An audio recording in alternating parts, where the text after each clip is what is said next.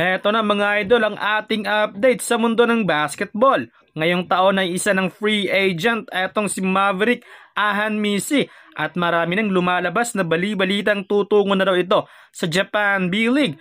Well, agad namang nilinaw ni Ahan Misi ang naturang haka-haka na wala siyang planong maglaro sa Japan at gugustuhin pa rin umano niyang maglaro para sa PBA. Sa ngayon ay wala pang update kung nakapagpirma na ba ito ng bagong kontrata.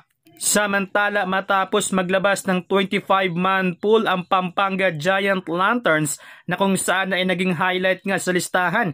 Sina Encho Serrano, Alex Cabagnot, Arwin Santos at Mark Pingris ay agad namang nagbabala ang PBA sa kanila na posible umano silang maparusahan kung sakaling maglaro sila sa ligang labas or kahit mag-practice man lang lalo't active pa rin sila sa PBA. Wala pang kasiguraduhan kung maglalaro ba etong si Mark Pingris para sa MPBL habang si Kabagnot naman ngayong buwan ma-expire ang kanyang kontrata sa PBA at sa May naman ma-expire ang kontrata ni Arwin Santos.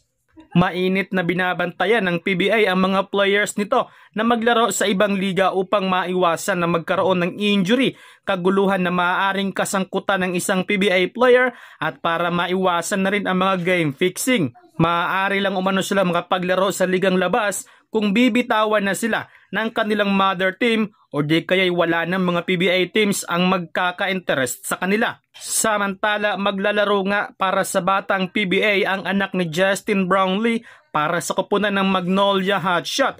Inaasahan ang anak ni Brownlee ang maging susunod sa kanyang yapak.